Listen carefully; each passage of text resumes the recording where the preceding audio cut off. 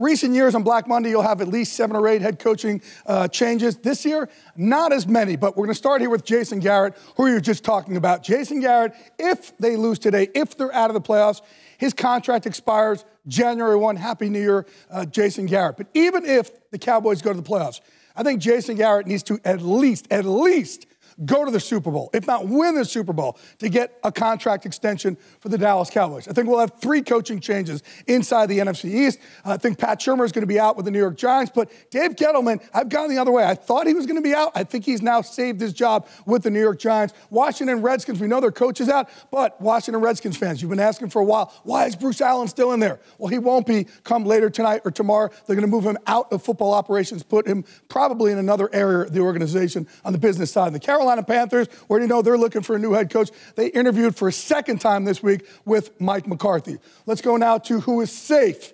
Usually this list is not as long. Vic Fangio's good. Matt Patricia, they've already announced that with Bob Quinn. And Dan Quinn uh, and Thomas Dimitroff, their owner, Arthur Blank, this week when they met with him, loved how the players fought back for Dan Quinn after the, after the break.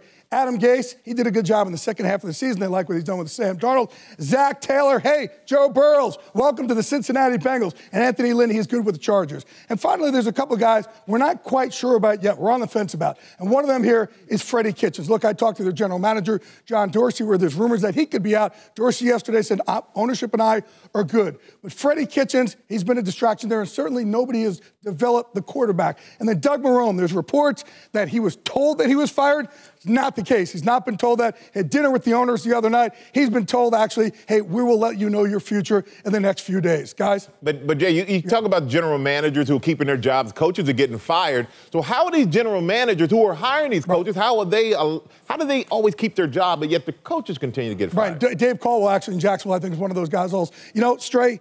It's incredible. It's mind-boggling because these general managers, they sit up in these booths during games with the owners and they pretty much paint the narrative hey, our personnel is so much better than this. They're not getting the best that we can out of our personnel, even though they're the ones who hired those head coaches, and they actually sway the narrative for these owners. That's why a lot of these guys stick around. All right, so who are some of the guys we should look to to fill these openings? Okay, so again, this year is different than last year. Last year, everybody wanted the next Sean McVay. That's not the case this year. So look, they want, if you want somebody established, Ron Rivera, he could be named the next head coach of the Washington Redskins as early as tonight or tomorrow. He's been linked to Jacksonville. Also, Mike McCarthy, like I said, he's on a few different lists. If you wanted to develop your quarterback, that's one of your guys. The hot name out there is this guy right over here, Matt Rhule, Baylor head coach. He had one year with Stray, your New York Giants. Very hot name.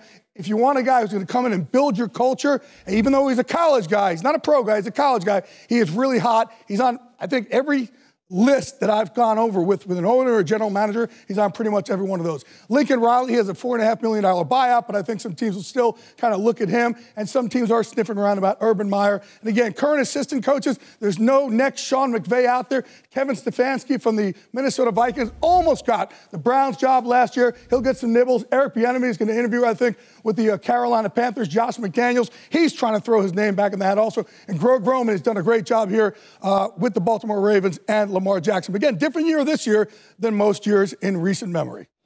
Here the Redbox Bowl, and off we go. Bowl games are made for big moments. Incredible! And when two teams are both looking to end bowl drought. What a stick! Something's gotta give. How about this? Chase Garbers leads Streaky cow. Touchdown, Cal! Lovie Smith has his Fighting Illini back in business. What a game! The Redbox Bowl, Cal, Illinois, Monday at 3.30 Eastern, 12.30 Pacific on Fox and the Fox Sports app.